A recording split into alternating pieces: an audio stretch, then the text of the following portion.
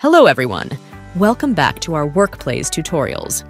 Today, we would like to cover our relatively new feature, Help Desk.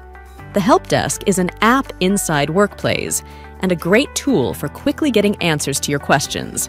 But more than being the point of contact for your queries, it tracks the communication and resolution of your reported concerns and requests. So whether you want HR to cancel a leave request, ask about a company policy, or need IT person to help you with a laptop problem, the Help Desk feature is your gateway to get connected to the right people. Before we dive in, you should know that there are two ways to access this feature. If you are a Workplace users, you can find the Help Desk in the menu under your username on the top right. If you are not a Workplace user or forgot your login, you still have access to the Help Desk but in this case, the access is from the Workplace login page via the link on the top. As an employee, once you are in, the Help Desk main page presents a variety of frequently asked questions, or FAQ, organized into different categories. If you locate your question in the FAQ, click on it to view the answer.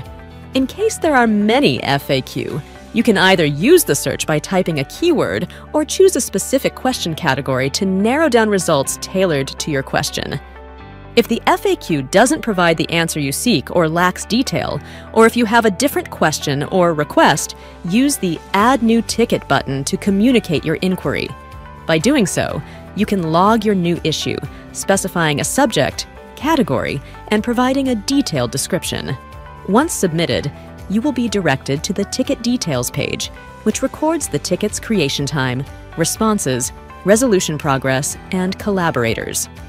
This page features a chat function, enabling real-time communication with the colleagues working towards resolving the ticket.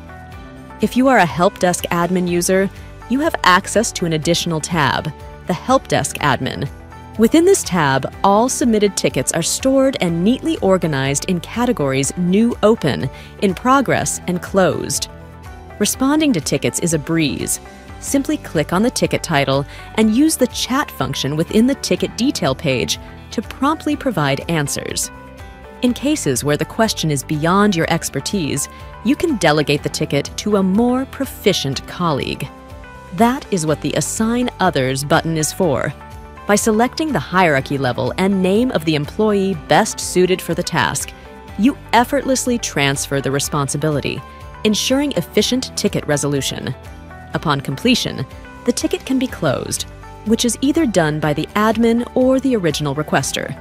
However, it is possible to reopen a ticket if the first resolution attempt did not meet the desired expectation. In that case, the reopening function allows the collaborators to resume their conversation. Moreover, original requesters can rate their service experience on each ticket, indicating whether it was a bad, okay, or happy one. Last but not least, we should highlight that administrators can promote recurring questions to FAQs. This proactive step prevents repetitive answers and enhances the efficiency of the help desk system. And there you have it a quick breakdown of the core functions for both employees and administrators in our new Help Desk feature. Now let's make the most out of these tools to streamline internal support and communication and create a harmonious experience for everyone involved.